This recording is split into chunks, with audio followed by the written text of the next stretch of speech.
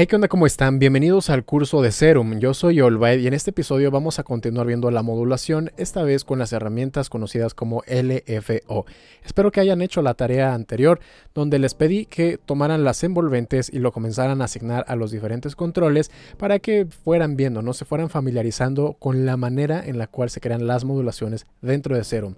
Pero ahora vamos a ver la siguiente herramienta, que es esta sección, y esta sección es los LFO. Un LFO es la abreviación de Low Frequency Oscillator o lo que es lo mismo una oscilación de baja frecuencia. Esta es otra herramienta, por sí solo no está generando ningún sonido. No se dejen confundir por el nombre, porque estos son osciladores, pero generan sonido. Este en cambio es un oscilador que solamente me sirve como una señal de control y es muy importante también dentro de Serum. Tenemos cuatro a la vista, aquí los pueden ver, pero en realidad hay ocho. En un momento más les voy a enseñar cómo es que los pueden habilitar.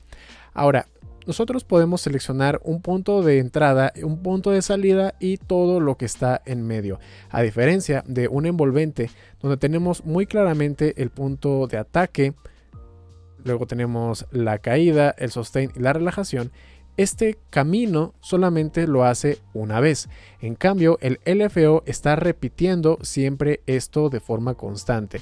Voy a imprimir aquí la nota cambiando por los basic shapes. Ahí está. Y para que lo podamos ver muy claramente, voy a asignar el LFO al course pitch. Ahí está, lo voy a dejar como está. Voy a tomar la nota.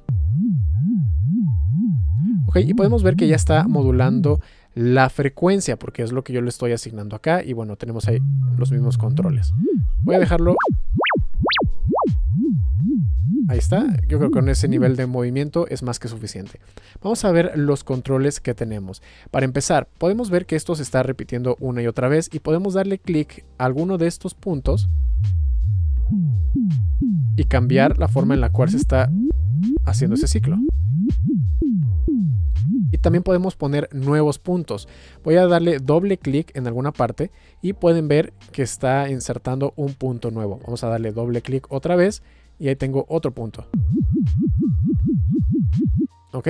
Si queremos borrar uno de los puntos, solamente le damos doble clic de nueva cuenta y ya lo borramos. ¿Ok? Así pueden ustedes insertar la cantidad de puntos que quieran. Ahora aquí en la parte de la envolvente, y es algo que se me pasó a decir en el episodio anterior, es que no solamente podemos elegir el tiempo en el cual va a estar llegando de un punto a otro, sino también cómo lo va a hacer. De esta manera, por ejemplo, avanza muy rápido la primera porción y después lento lo que queda. O le damos clic y lo arrastramos hacia abajo y primero empieza muy lento y después va bastante rápido. Aquí también tenemos lo mismo, podemos cambiar esa curvatura de cómo se están uniendo los dos puntos. Ok, vamos a borrarlos. Ahí está. Y ahora vamos a ir aquí a esta carpeta donde podemos acceder a algunas que ya vienen predibujadas. La que viene de forma predeterminada es el triángulo. Ahí está. Ahora vamos a darle clic y ver algunas de las otras. Por ejemplo, esta dice So Ramp Up. Ahí está. Es una rampa que va subiendo. Vamos a ver alguna otra. Por ejemplo, este misceláneo y dice Chalice. Ok, ahí tiene ese otro dibujo. Y podemos también ver estos que dicen Sidechain. No, hay varios. Esto ya va a depender de lo que ustedes quieran cargar. Voy a regresar a la forma predeterminada y vamos a ver aquí ahora la cuadrícula. La cuadrícula únicamente es algo visual por si queremos hacer algunos ajustes que vayan de acuerdo al tempo. Y es que eso es una opción muy buena que tenemos, la vamos a ver en un momento más. Ahora, de forma predeterminada, yo primo y se está repitiendo una y otra vez. Pero pueden darse cuenta que a veces comienza aquí adelante, a veces atrás. No siempre comienza en el mismo punto. Si yo le pongo aquí, enciendo este botón que dice trigger, podemos ver que ahora, cada vez que yo primo la tecla, siempre está comenzando exactamente de aquí, del principio del dibujo. Ok, es lo que hace el botón de trigger. Si activamos el botón de envelope, este LFO ahora va a servir como si fuera un envolvente, es decir, va a ser el recorrido única, una única vez. Ahí está, subió, bajó y ahí se quedó.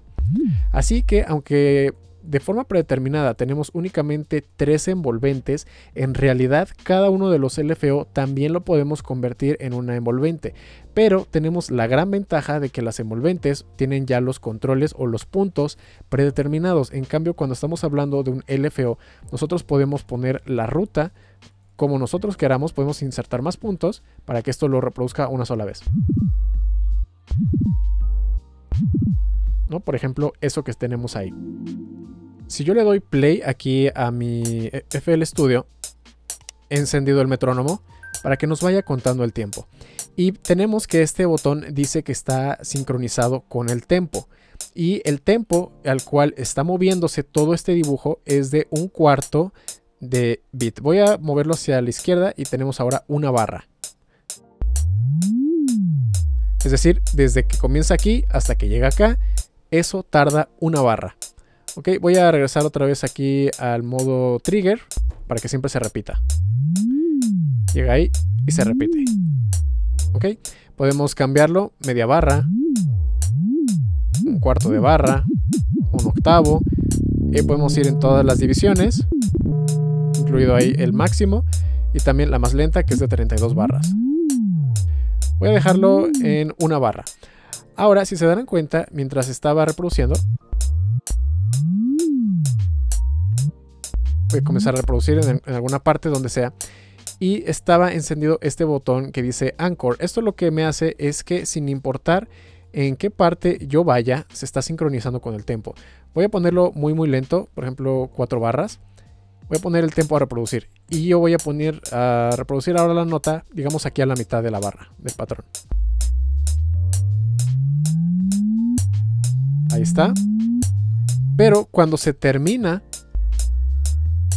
cuando vuelve a comenzar, no está dejando que reproduzca todo por completo, sino que vuelve a regresarme al punto en el cual yo oprimí la nota.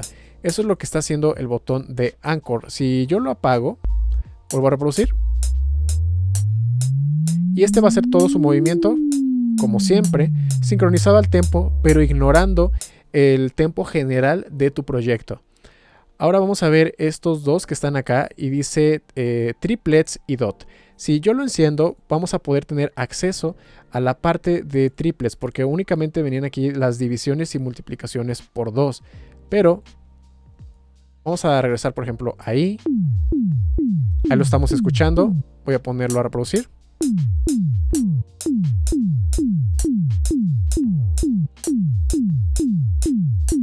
Ahí está. Y ahora vamos a activar los triplets y vamos a ver que ahora ya tenemos las opciones de triplet. Ahí aparece con una letra T. Y eso significa que la división no es exactamente en mitades, sino que está haciendo esas eh, divisiones entre 3 en lugar de entre 2. Ahí está. Y ahora si activamos aquí dot, también ya me va a dar las opciones que contienen el punto. Esto significa también que así como parecía eh, similar con los triplets, pero en lugar de hacer divisiones donde son exactamente, por ejemplo, entre 4 o entre 3, con el punto, la primera división va a tener una longitud diferente de las otras.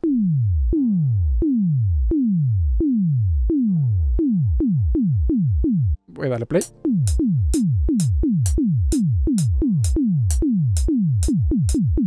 así estaba como era el octavo, sin el punto. Y ahí lo pueden escuchar con el punto. Ok, eso es lo que nos está haciendo eh, estas funciones, todas que tienen que ver con el tempo. Ahora, si apagamos el de BPM, pues bueno, va a oscilar. Independientemente del tempo, va a estarse tomando siempre un ciclo por segundo, dos o lo que ustedes le pongan, un máximo de 100 y un mínimo de 0, no se va a mover.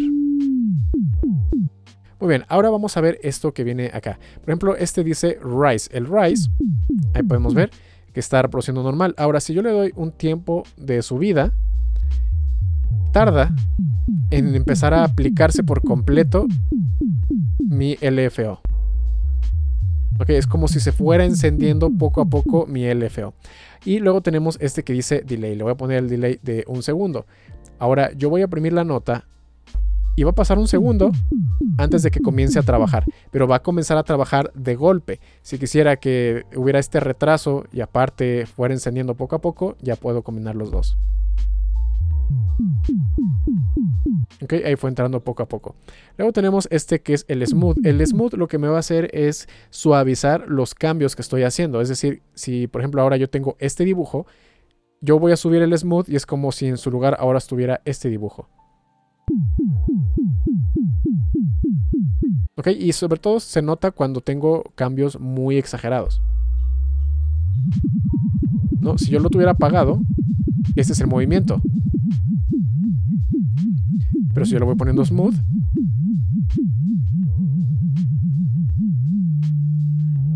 pueden ver que ya ni siquiera se ven las líneas rectas, sino que ya las empieza a hacer más suavecitas, más redondeadas. y esto es para que ustedes no tengan que estar dibujando aquí, ¿no? Como que todo redondeado, sino que utilizando un poco de smooth ya lo pueden hacer. Ahora vamos con una función un poquito más avanzada y eso es que podemos, ahí vamos a regresarlo a la forma predeterminada. Vamos a dejar esto todo apagado y lo vamos a poner respecto al tempo y lo voy a poner de un cuarto o un medio bit. Ahí está. Ahora, lo que yo puedo hacer es que si me pongo en el modo de trigger, sobre uno de los puntos de control yo le puedo dar clic derecho y pueden ver que están estos dos. Dice Set Start Point y Set Loop Back Point. ¿Ok? Y bueno, eh, este yo le puedo poner como un punto de entrada y esto va a funcionar para cuando estamos hablando del modo Voy a ponerlo más lento. Y modo trigger. Ahora sí, vamos a ponerle eh, start point. Y ahora lo que yo estoy haciendo es que la oscilación va a comenzar justo en este punto. Llega al final y ahora sí se comienza a repetir. Igual que siempre. Pero el punto de inicio fue acá. Ahora podemos, eso es para el que le dimos clic derecho y dice Start Point. Ahora tenemos otra opción también y esa opción es el que dice eh, Setback. Ahora ese va a funcionar en el modo de envolvente. En el modo de envolvente le vamos a dar clic derecho y donde dice Loop Back Point y va a aparecer esta L. Muy bien, entonces tenemos el punto de inicio y va a llegar hasta acá, llega al final, pero en lugar de comenzar desde aquí, va a volver a comenzar desde acá. Ok, se está repitiendo ya únicamente esta porción. Ya no llega hasta atrás. Voy a dar ahora clic derecho. Le voy a poner remover. Y ahí está, hizo lo que tenía que hacer, la envolvente lo reprodujo una sola vez y cuando llegó al final ahí se quedó. Y ahora para el final, ¿cómo activar los otros LFO? Pues bueno, en ese caso, como podemos ver en cualquiera de los controles, si yo le doy clic derecho, vimos que podíamos seleccionar la fuente de modulación y estaban aquí la envolvente 1, 2 y 3. Ahora podemos ver que están los LFO 1, 2, 3, 4 y aquí están los otros extra 5, 6, 7, 8. En el momento en el que tú seleccionas algunos de los que están por encima de 4, lo vas a poder ver aquí en esta sección. ¿Ok? Voy a seleccionar ahora hasta el 8 y ahí podemos ver que ya aparecieron todos y tienen exactamente los mismos controles. Y bueno, eh, la manera o por qué hicieron esto, la razón por la cual hicieron esto era para que no se saturara tanto visualmente, ¿no? Y que vieran tantas pestañas aquí todas al mismo tiempo. Solamente las muestra cuando las necesitas, de lo contrario están ocultas. Y bueno, eso sería todo sobre los LFO. Otra vez se les queda de tarea experimentar porque esto de verdad es que tiene muchísimo de donde pueden ustedes empezar a combinar con los LFO. Eh, incluso lo pueden hacer cruzado. ¿Por qué? Porque por ejemplo tengo este LFO y yo puedo tomar la envolvente para controlar algo del LFO y viceversa, yo puedo tomar un LFO para controlar algo de un envolvente, aunque esto ya tiene menos sentido porque solamente pasa por esto una sola vez, pero sí es interesante que puedan tomar algo de una envolvente para modular un, algo del LFO. Eso se les queda de tarea, probar esa modulación cruzada. Pero mientras tanto, no olviden suscribirse y activar la campana de notificaciones porque en el próximo episodio vamos a ver también algo muy interesante, ya no solamente la parte de modulación, sino que pues bueno, ya vienen lo más avanzado que son las pestañas de efectos de Matrix y de Global. Recuerden que si quieren que mezcle o masterice alguna de sus canciones, se pueden poner en contacto conmigo visitando mi página oficial allbymusic.com donde podrán encontrar toda la información de mis servicios, al igual que samples, presets, plantillas, selección para su home studio y mucho más. Eso sería todo por este video y nos vemos en la próxima.